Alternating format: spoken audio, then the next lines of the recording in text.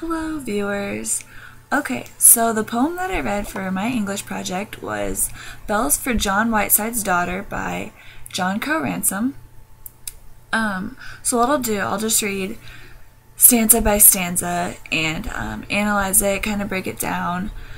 Um, then I'll generalize it and we'll talk about modernism and how I think this poem um, represents modernism writing. So the first stanza reads, There was such a speed in her little body, and such lightness in her footfall. It is no wonder her brown study astonishes us all. So I had to do a little research to uh, make sure I fully understood what this was saying, and a brown study means like depression or like getting lost, like in a mental state. So basically, you have this little girl such speed in her little body, so she's energetic, she's fun, she's just like a normal kid. But then she goes into her brown study or her depression, which is surprising to everyone because that's not her normal personality. Her wars were brooded in our high window. We looked among orchard trees and beyond, where she took arms against her shadow or hurried unto the pond. So her wars were brooded in our high window. Brooded means like rumor, sort of like news. So her wars, like her inner wars, were rumors to our high window, which I'm assuming is like um, a higher state of mind, so maybe like normal. Um, where she took arms against her shadow. So maybe where she like tried to defend herself or like fix herself, um, kind of battle against her, the inner wars, her shadow going on in her life or harried unto the pond.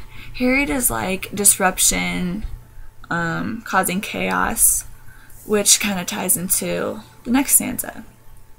The lazy geese, like a snowy cloud, dripping their snow on the green grass, trickling and stopping, sleepy and proud, who cried and grew, goose, alas.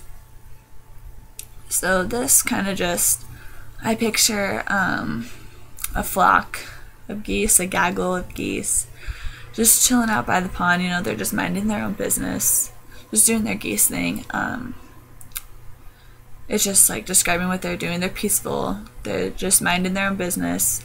Who cried in goose, alas. This ties into the next stanza, um, which the reader has to remember. They cried in goose has to make you think like, um, like they're crying out loud, but obviously not like we are because they're geese, so they're honking or whatever. For the tireless heart within the little lady, with rod that made them rise, from their noon apple dreams and scuttle, goose fashion under the skies. So what I picture is this little girl who is in her brown study now. She obviously still has a little fire in her, her tireless heart. I picture her running down to the pond, causing chaos with these geese, like scaring them, and they're in their goose fashion, goose fashion, under the sky. So they're like flying away. They're freaked out. But now go the bells, and we are ready. In one house we are sternly stopped, to say we are vexed at her brown study, lying so primly propped.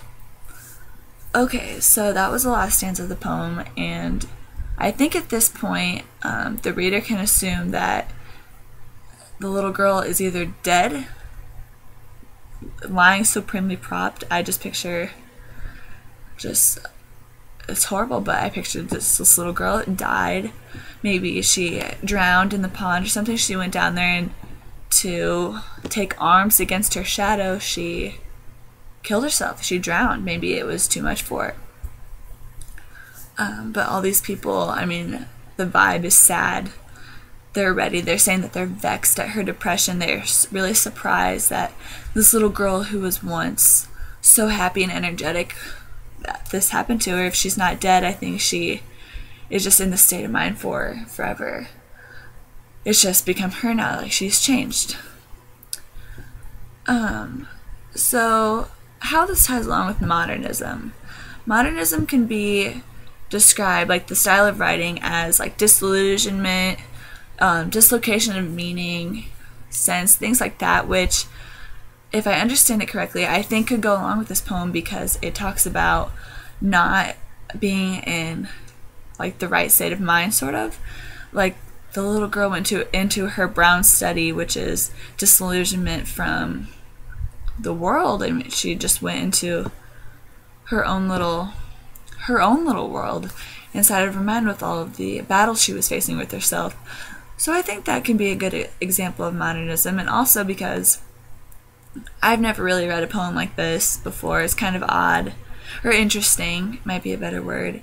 And modernism was a time when a new style of writing was coming out. Um, people weren't writing the same as they used to, so maybe that could be it. It could just be my ignorance of poetry, but that's how I tie that in with modernism.